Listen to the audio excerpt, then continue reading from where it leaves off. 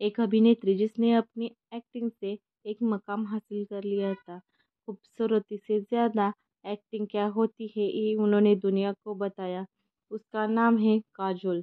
काजोल का जन्म पाँच अगस्त उन्नीस सौ चौहत्तर को हुआ। काजोल के पिता film director producer Shomu Mukherjee रहे और माँ जानी मानी अभिनेत्री तनुजा रही। उनकी मासी का नाम नूतन है और वो भी एक अभिनेत्री रह चुकी हैं। फ़िल्म फिल्मी बैकग्राउंड होने की वजह से उन्होंने एक्टिंग का शौक बचपन से था। काजोल अपने बचपन में बहुत शरारती थी। बचपन में ही उन्होंने अपने माता पिता को अलग होते देखा था। उन्होंने बहुत कम उम्र में फ़िल्म इंडस्ट्री में कदम रखा। उनकी पहली फ़िल्म का नाम था बेखुदी, जिसमें उनके को स्टार थे कमल सदाना। ये फ़िल्म बॉक्स ऑफ़िस पर कुछ कमाल नहीं कर पाई, बट काजोल की एक्टिंग की बहुत तारीफ़ हुई। उसके बाद उनकी बाजीगर फ़िल्म आई इस फ़िल्म ने तीन स्टार बना दिए थे, शाहरुख खान, शिल्पा शेट्टी और काजोल। इस फ़िल्म के बाद शाहरुख खान और काजोल की जोड़ी बहुत हिट हुई और उनकी एक और मूवी आई, जिसका नाम था दिलवाले दुल्हनिया ले जाएँगे। इस फ़िल्म के बाद उनकी जोड़ी को राज कपूर और नरगिस के समान मानने जाने लगा।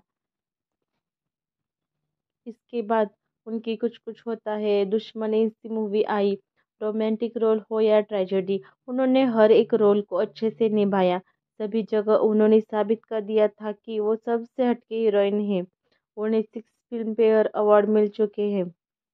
एक तरफ़ उनका करियर, फिल्मी करियर अरमान चढ़ रहा था, तब इनकी ज़िंदगी में आए अजय देवगन। अजय देवगन जी खुद भी एक एक्शन हीरो की इमेज लेकर आए थे और बॉक्स ऑफ़िस पर अपनी इमेज बना के बैठे थे। काजोल और अजय एक दूसरे के प्यार में थे। 24 फरवरी 1990 में उन्होंने शादी कर ली। शादी महाराष्ट्रियन तौर तरीके से हुई। सब लोगों ने कहा कि इतनी बड़ी हीरोइन करियर इतना अच्छा चल रहा है। एक कोई वक्त है शादी करके सेटल होने का। 20 अप्रैल 2003 को काजोल ने अपनी बेटी न्यासा को जन्म दिया और उसके बाद उन्होंने 2010 में अपने बेटे युग को जन्म दिया। इसके साथ उन्होंने अपना फिल्मी करियर भी शुरू रखा। शाहरुख हो या सलमान या आमिर, सभी के साथ उनकी जोड़ी को बहुत पसंद किया गया। भारतीय सिनेमा में काजल का नाम हमेशा गर्व से लिया जाए।